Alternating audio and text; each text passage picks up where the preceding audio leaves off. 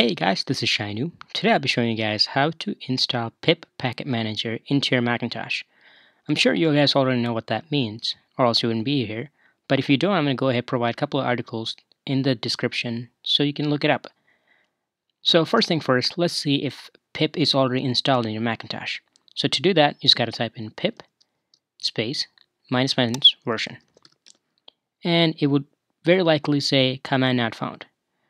But if it does say something as far as the version goes, then that means you can move along.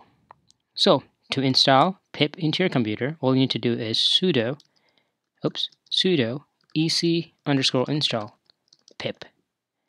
This pretty much means to install the application within your computer. So obviously it's going to ask for the password. Go ahead, provide that, and press enter.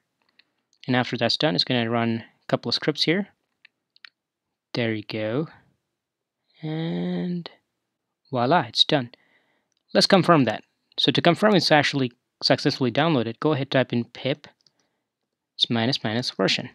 And it should say the latest version, as you can see right there. So I'm sure you guys out there want to know how to uninstall pip, which I don't know why, but I'll go ahead and show it to you. First thing first, you're going to have to go ahead and type in sudo because you're trying to delete it from your system, and then space pip uninstall pip. And it's going to ask you, are you sure? Press Y and enter. And that is also done. Thank you guys for watching. I hope you guys have a great day. Bye-bye.